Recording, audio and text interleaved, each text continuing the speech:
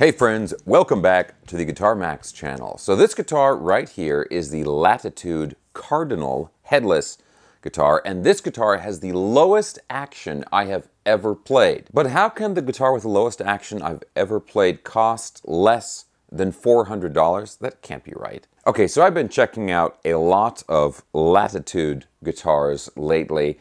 I checked out a couple of LP style guitars, one with a traditional body and one with a really thin body that was really cool. And a lot of the Latitude models are like that, where it's a traditional design that they then add some more modern features to. Well, this one here is a considerably more modern design, as you can see. But look, I've checked out a few headless guitars before, but when I grabbed this one, I was in disbelief at how low the action was. And when I say low action, I don't just mean that the strings are slammed down right onto the frets, but this is actually a playable, usable, super low action. Now, I'll go over all the specs of this guitar in a moment, but the feature I want to talk about to begin with, which is what uh, allows them to achieve a super low action, is this little thing right up here the zero fret. Now, zero frets technically are nothing new, but there's been a big resurgence in the use of a zero fret, especially on headless guitars. So what does a zero fret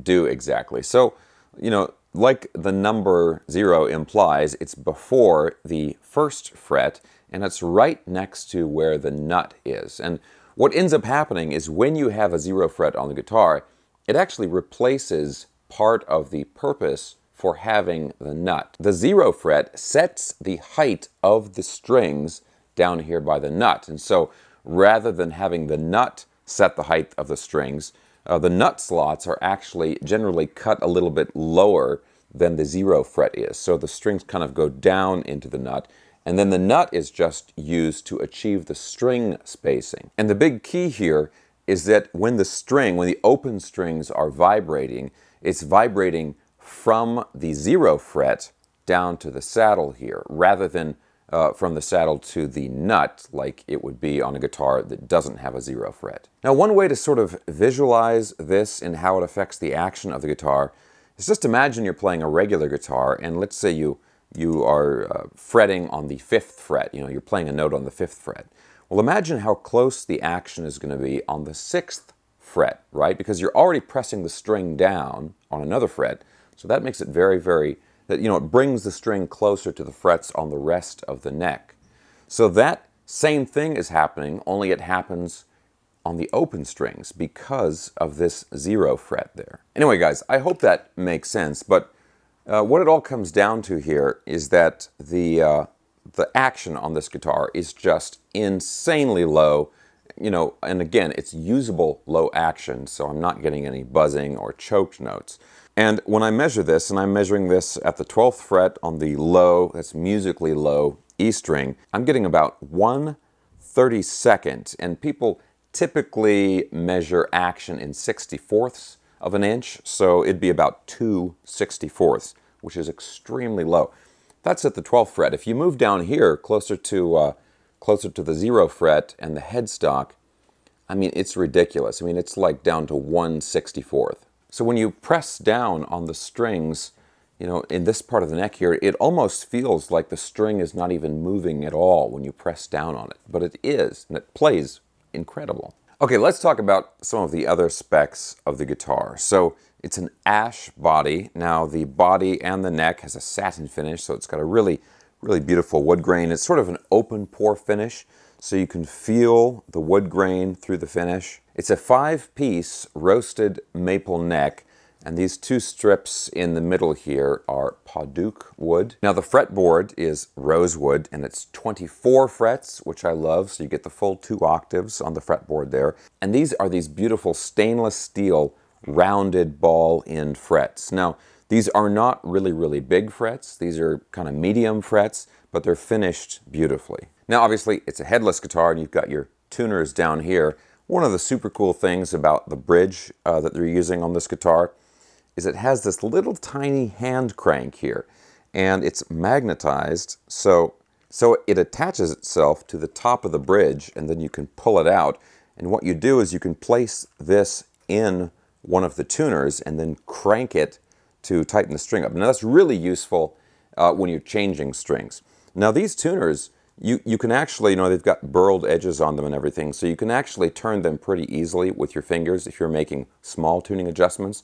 But having this little extra crank there is really helpful when you're putting on new strings or maybe changing tunings, you know, drop tuning or something like that, where you have to make larger tuning adjustments to the strings. Now the controls are very straightforward. It's just a three-way toggle switch, a single volume and single tone. And one little detail that I really like about this is the location of the jack, the output jack, which is right back here. So for one, it makes the jack go in at a downwards angle, so it's more difficult to accidentally pull the cable out. But the other thing is that allows you to have the guitar on either leg. You can have it like that, and you can even like put it on this, this lower piece right there if you want to have the neck up really high. And that keeps the cable coming out and the cable's not going to be poking into your legs or anything like that. So it's a very thoughtful design as far as the output jack location. So guys, as usual, there's a few other features I want to show you about this guitar, but I want to go ahead and get into the sound demo next. Now I'm going to plug this into my Fender GTX 100 amplifier, go through some standard, uh, standard variety of tones, and we can listen to uh, how the guitar sounds. And then I want to talk a little bit more about the playability of the guitar and just how this guitar feels to play with this, this crazy low action. Now, real quick, guys, if you enjoy videos like this, checking out cool new affordable guitars and also staying up on all the latest news in the guitar universe, and you have not already subscribed, please consider subscribing right now. Okay, guys, this is the Latitude Cardinal headless guitar. Let's go ahead and plug this in and listen to how it sounds.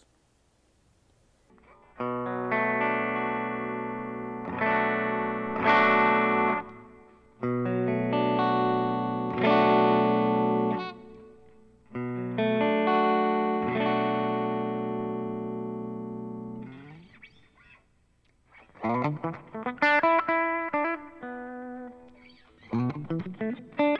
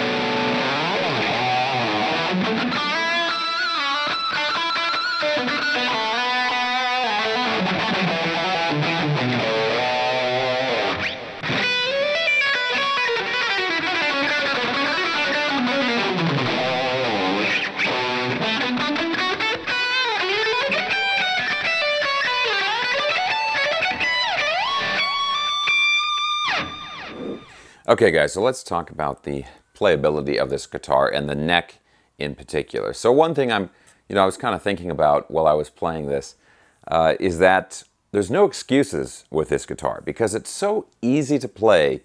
If you screw up a lick or if your technique is uh, not very good, you can't blame it on the guitar because this neck, I mean, with the satin finish, the profile of the neck, which is like a, you know, kind of a C D shape, it's pretty flat and thin. These rounded ball-end frets, they're polished really nicely, super low action. Of course, there's, you know, no parts of the body that get in the way of your hand or anything like that.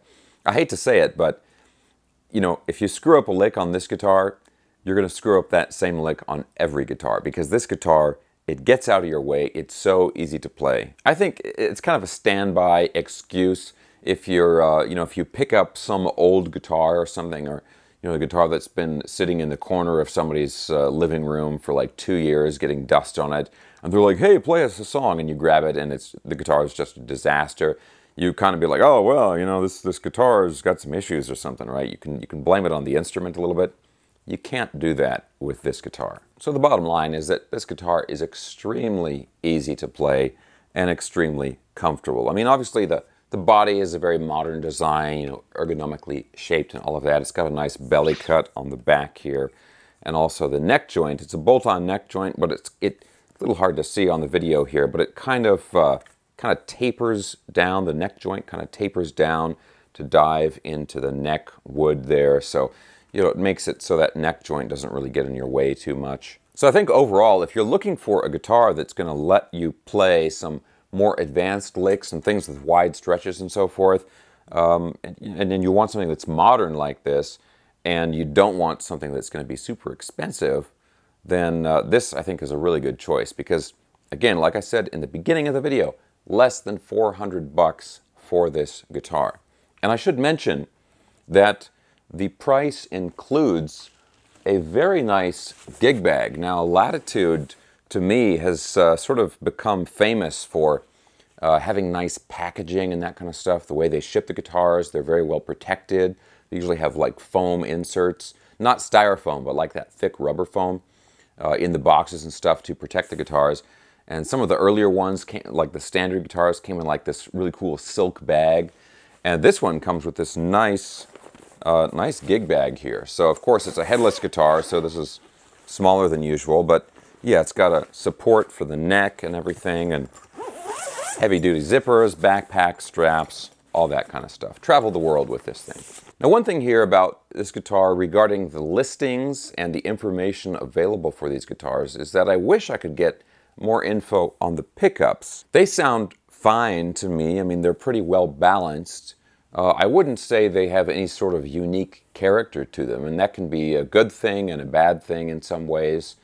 Um, they're sort of the kind of pickups that you just kind of forget about while you're playing the guitar. And to my ears, they're kind of medium output pickups, but yeah, I, I don't know too much about them as far as the, uh, the specs and so forth. But how did they sound to you? How does the guitar sound to you guys? Let me know in the comments. Now, the other thing I should mention about this is that there are two different color options this is, of course, the natural finish, uh, natural ash finish.